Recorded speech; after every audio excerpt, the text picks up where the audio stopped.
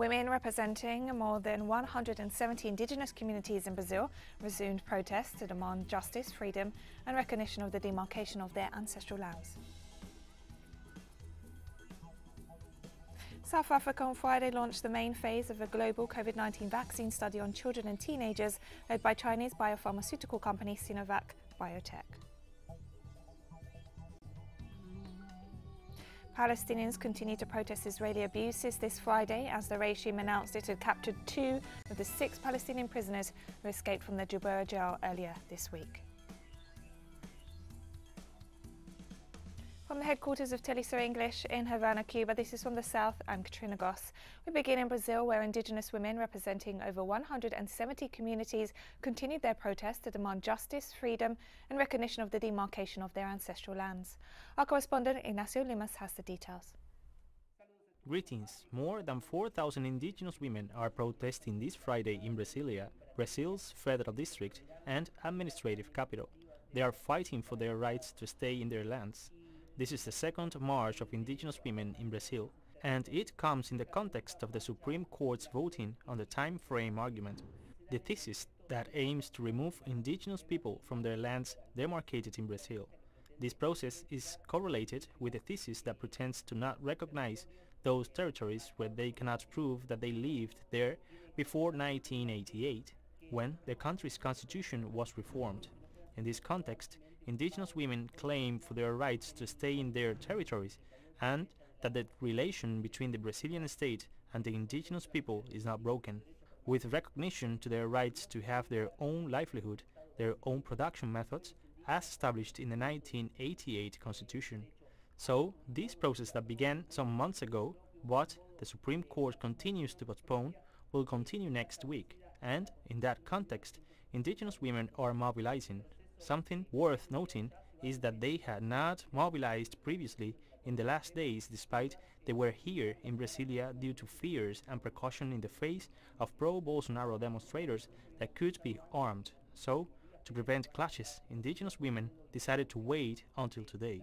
Also, something important to note is the support of Brazil's agribusiness support to pro-Bolsonaro demonstrators this week and, in contrast to the interest of agro-businesses over indigenous lands, it is precisely indigenous women demonstrating today here in Brasilia. To conclude, next week the voting on the time frame argument will continue in the Supreme Court. Minister Edson Fachin has recognized the indigenous rights to stay in their lands, recognizing the history of these indigenous territories. So, there is a good start with the voting in favor of indigenous people. We will have to wait in the upcoming days to know what is the Supreme Court's decision. Meanwhile, indigenous women are demonstrating here in Brasilia. The so-called election silence period has begun in Argentina ahead of Sunday's primaries to define the candidates for the November legislative elections. In accordance with Article 64 of the National Electoral Code, as of this Friday, political acts and campaigning activities are prohibited. According to the regulations, social networks will also be monitored during the electoral silence period. The Electoral Authority explained that these rules are dictated so that Argentines can reflect without interference on who they're going to vote for before heading to exercise their right on Sunday, complying with the biosecurity measures in place.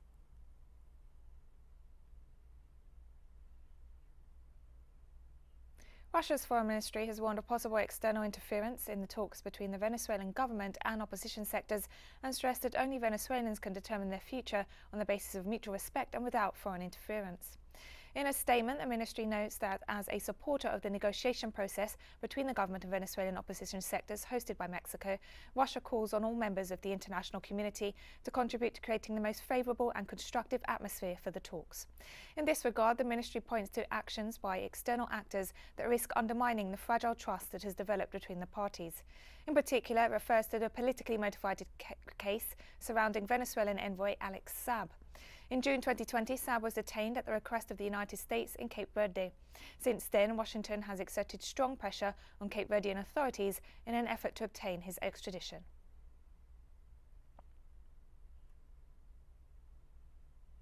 Colombia commemorated its National Human Rights Day on Thursday as statistics on police violence show the need for urgent reform within the institution. The absence of state guarantees to protect the lives of social and community leaders, human rights defenders and signatories to the peace accords adds to the situation of violence and human rights abuses. Our correspondent Hernán Tobar brings us more details. Daniel is a 20-year-old young man who was the victim of police brutality by the Mobile Anti-Disturbance Squadron during the events of May 1st while he was participating in a demonstration. Today, National Human Rights Day, he demands justice. In one of the protests, a mobile anti-disturbance squadron officer shot me directly in the face, about 20 meters away. He shot me, and essentially he affected many areas of my face. He affected my nose, broke my cheekbones, detached my upper jaw. I lost vision in my right eye, and I have 10 teeth affected due to the impact. I have already had 5 surgeries since the event.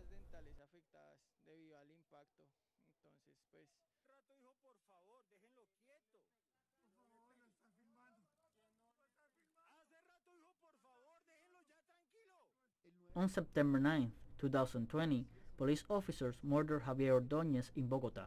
So far there has been only one conviction and 11 investigations. These violent actions sparked a social outcry and mobilizations against police brutality. In three days of protests, around 13 people died in the Colombian capital and the municipality of Soacha.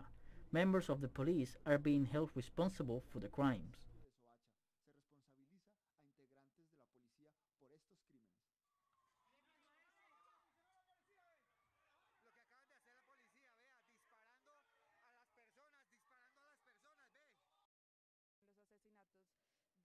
In the murders of September 9, 10, and 11 in Bogota and Soacha, there are no significant advances.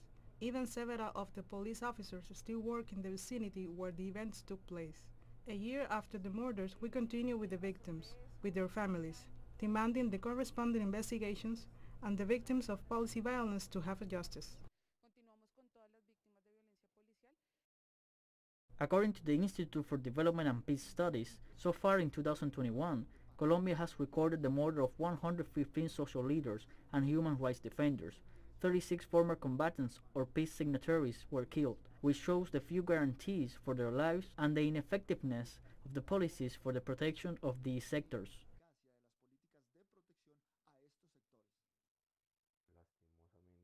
Unfortunately, in Colombia, especially in Cauca, human rights violations occur constantly. The latest massive displacements in the municipality of Argelia due to the violent situation, the persecution and murder of social leaders. Many of them had moved to other places, even left the country because of the violence they had experienced. In the framework of the 2021 nationwide strike and mobilizations, there were 4,687 cases of police brutality, at least 80 deaths and nearly 80 victims with injuries to their eyes. In many cases, victims filed complaints against the police forces. This situation demanded reforms within the police. The Congress is one of the key scenarios for this discussion and for the entity to be a defender of peace and coexistence without violating human rights. Hernán Darío Tobar, Telesur, Bogotá, Colombia. And we'll be right back after this very short break, so don't go away.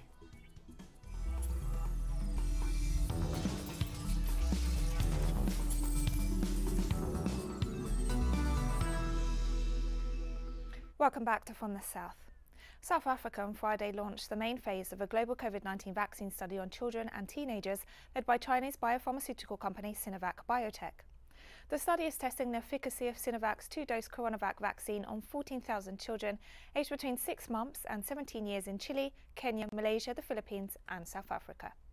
Coronavac is approved for use among adults in over 50 countries. China recently cleared it for use in children, where it's already been administered to millions from the ages of 3 to 17. South Africa, where vaccination has not yet been extended to under 18s, kicked off the study with two teenagers vaccinated at Pretoria Health Science University. We, we see a lot milder and less severe disease in children, but they still remain susceptible to infection. And because they remain susceptible to infection, we need to protect them because they are, in other words, getting the infection and they are able then to transmit it to the rest of the population, to other children and to adults. Vietnam's capital Hanoi is ramping up vaccination for local residents as authorities aim to inoculate all adults by September 15th. Hanoi's Department of Health has urged the authorities not to impose a limit on the number of people being vaccinated and to simplify procedures, as vaccination has been conducted late into the evening in more than a thousand spots. According to, to Vietnam's national website on COVID 19 vaccination, more than 70% of people over 18 have received at least one jab in Hanoi, including people over 65 with chronic diseases. The country is battling its most serious COVID 19 outbreak so far, with the vast majority of the nearly 600,000 infections and more than 14,000 deaths since the beginning of the pandemic recorded in the past few months.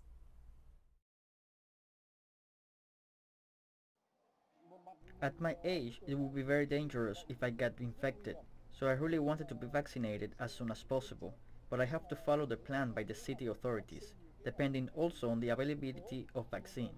I am okay being vaccinated at this time. In some countries, they give priority to vaccinate people over 65, but the vaccination policy is flexible in different countries. I think it's not too late to be inoculated at this time, because our country gives priority to people who are in the front line to fight against the pandemic or workers. I think it's the right policy. In a bid to push for greater COVID 19 vaccination in the United States, President Joe Biden issued a no jab, no job ultimatum for the nation's largest employer, the federal government, as well as for federal contractors. The most sweeping mandate is a Labour Department rule requiring all private businesses with more than 100 employees make their workers get their shots or take weekly coronavirus tests with penalties of up to $14,000 per violation. The stringent new vaccine rules on federal workers, large employers and healthcare staff could apply to as many as 100 million Americans, close to two-thirds of the US workforce, and amount to Biden's strongest push yet to require vaccinations for much of the country. Biden said vaccinated America was growing frustrated with the 80 million people who have not received shots and are fueling the spread of the virus. The bottom line, we're going to protect vaccinated workers from unvaccinated coworkers.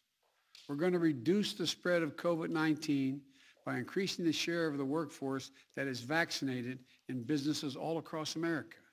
Next, I will sign an executive order that will now require all executive branch federal employees to be vaccinated, all. And I've signed another executive order that will require federal contractors to do the same. If you want to work with the federal government and do business with us, get vaccinated. If you want to do business with the federal government, vaccinate your workforce. Cuba is set to receive humanitarian aid from fellow Caribbean nations, as announced by the Bolivarian Alternative for the Peoples of Our America People's Trade Treaty. Barbados, St. Kitts and Nevis, St. Lucia and St. Vincent and the Grenadines will send 3.5 tonnes of medical supplies donated to the people of Cuba for the humanitarian air bridge established by the Alba Bank, shipped by Venezuela's flagship airline Conviasa. On September 6, during the first summit between the Caribbean community and Africa, several CARICOM member states stressed the importance of solidarity with Cuba in the face of the US sanctions and the further difficulties posed by the COVID-19 pandemic.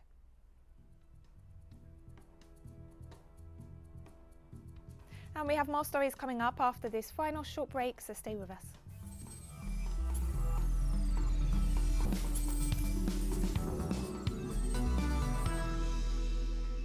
Welcome back to From the South.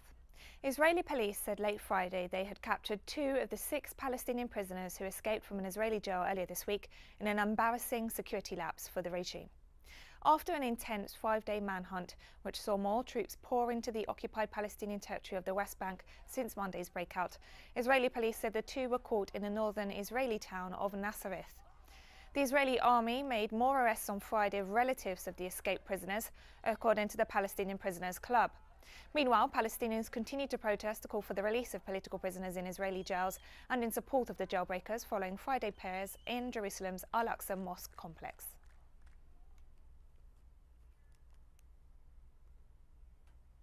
And more than 2,000 Palestinian prisoners announced they will start a collective hunger strike in rejection of the brutal repression of the Israeli occupation and abuses against detainees. The Wayed Prisoners Association reported that the protest will begin in the early hours of Saturday. Meanwhile, the Israeli prison service transferred all Palestinian prisoners from the Gilboa high security prison to other facilities following the prisoner escape.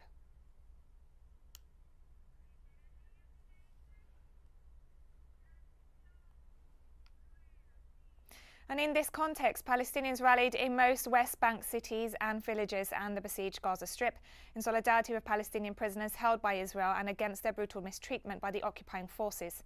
Since Monday's escape from Dibur prison, the Israeli Prison Service has launched a campaign of repression with punitive measures against other Palestinian prisoners in flagrant violation of international conventions and agreements.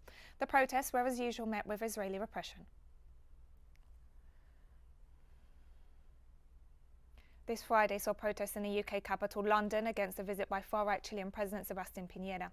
The Chile Solidarity Network called for people to gather near Downing Street, the British Prime Minister's address, to reject the visit, which campaigners note was shrouded in secrecy for fears that human rights and environmental campaigners would gather at the sites of his scheduled meetings.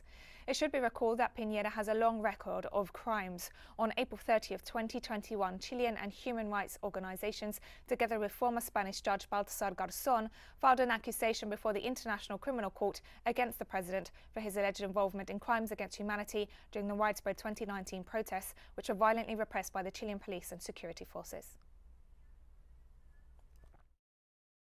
Today, because I am second generation Chilean exile, um, I arrived here at the age of five with my parents in 1978. Um, and we have Sebastián Piñera visiting Boris Johnson today.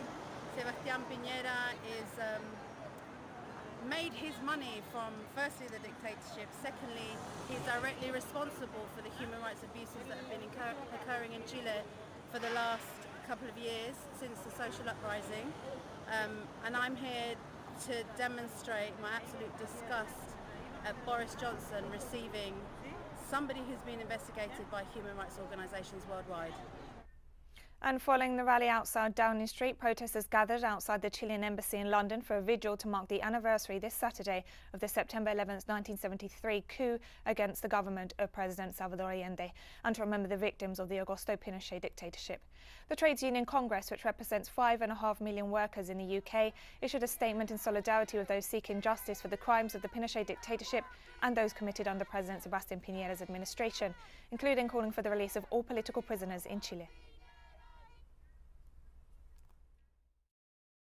Political prisoners in Chile and for full reparations for the victims of state brutality. Tomorrow, 11th of September, marks the 48th anniversary of the violent Pinochet coup which overthrew the democratic government of Salvador Allende and no doubt many Chileans will be remembering the dark days of repression and political violence that all hoped had been gone for good. The TUC notes that allegations of crimes against humanity have been brought against President Piñera at the International Criminal Court by a coalition of human rights organizations in Chile. We call on the British government to condemn the brutal actions of the Piñera administration, which in the words of Amnesty International, has misused the law to criminalize protesters and engaged in multiple instances of excessive use of force and we've come to the end of this news brief. Remember, you can find these and many other stories on our website at telesurenglish.net. You can also follow us on social media for all the latest news. We're on Facebook, Twitter, Instagram and Telegram. For Telesur English, I'm Katrina Goss. Thank you for watching.